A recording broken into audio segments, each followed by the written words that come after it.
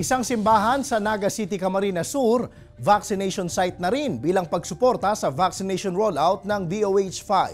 Narito ang report ni Jessica Kalinog ng GMA Regional TV, Balitang Bicolandia. Binuksan na ng St. Jude Tadeus Parish sa Naga City, Camarines Sur ang kanilang pintuan bilang isa sa mga vaccination center ng lungsod.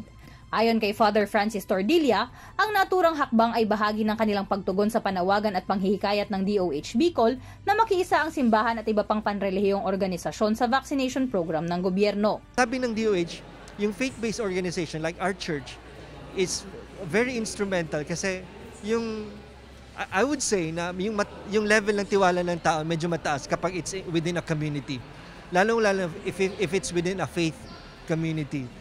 Ang St. Jude Parish ang kauna-unahang simbahan sa Bicol Region na nagsagawa ng pagbabakuna ayon sa DOH Bicol. Samantala, sumailalim sa training ang mga vaccinator, volunteers mula sa iba't ibang ospital, mga residente ng barangay, at pati na rin ang ilang staff ng simbahan. Ang, ang ano namin, tentative plan was really December first week. So wala, nirush na namin. Although the team is ready, kasi ang team na nag-compose naman na nabuo namin dito sa parish is ano, um, vaccinators actually sila or members din sila ng vaccination team ng different hospitals dito sa Naga.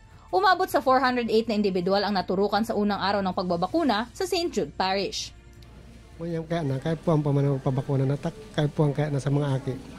Kung magluwas kami o mag kairib kami, kaipuan po ang bakuna, ta, para po kung halimbawa man may masagap kaming ano, may protector ka sa diri.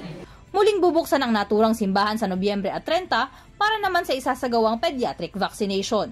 Ako si Jessica Kalinog para sa GMA Regional TV.